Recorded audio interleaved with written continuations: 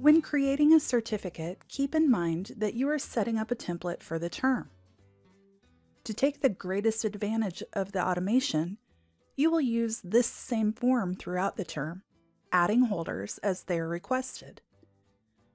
Once we enter the coverages and perhaps a generic description of operations, you will click the Cert Holders menu icon on the toolbar and begin listing any holders to whom you need to issue certificates. If you had a certificate last term, you can pre-fill the form from another to bring in the existing holder list.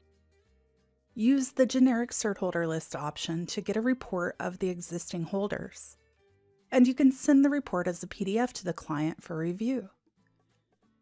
If the client requests deletion of a holder, simply select the holder, choose the option to delete marked holders, then do it. This holder will be removed from this form but still exist on the prior version if copied through the prefill function. You can add additional holders by either importing them from the master list or using the Add New Holder option. First, see if they're listed in the master, and if so, select the holder and use the Add Marked Holders to Current Form option. You can then edit the holder record to make any needed changes. If you do not find the holder in the master list, click Add New Holder and then do it. As you add the holder, you want to complete at least the first three fields. If you plan to utilize the email directly to holder option, you will enter the holder's email address in the email field. The provided checkboxes are override options, used only for holders that have coverage exceptions. If the form is filled the way you want it, leave all of these fields blank. Strike Endeavor to and number of days to cancellation will only apply to old version forms, so no need to address those fields.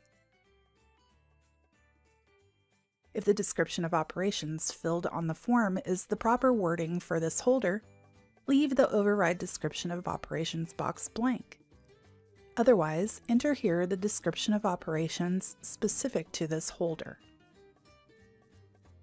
The first icon above this box allows you to save commonly used wording to autofill into the description of operations. To add wording, click the plus icon and type in the desired wording, or click the second icon to bring up the text from the holder's description of operations. To add the saved wording to the holder, click the first icon. The description of operations field is limited to seven lines of entry and we'll attempt to size down the font to fill as much as possible when the text reaches the natural field end. Once you've entered the information, click Done. If you are using electronic output options, return to the certificate to add your signature. Then back in the holder menu, choose the Mark Holders to Print option. If you were wishing to send a packet of certificates with all listed holders, you can check the Mark Unmark All option, which will check all holders.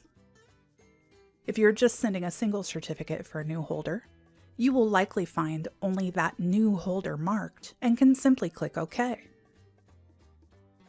Your distribution options are print, email customer, or email cert holders. If you wish to print, you can click Yes. If you choose the email customer option, you will be presented an email form with a packet containing a page per holder. The email cert holders directly will provide a template to write an email body and then alert you to any marked holders who are missing email addresses. If you prefer to save the certificates as a PDF file, click Cancel and then choose Save as PDF file from the File menu place and name the file and be sure to wait for the message that it's complete before attempting to open the PDF file, as this could take some time to compile depending on the number of listed holders.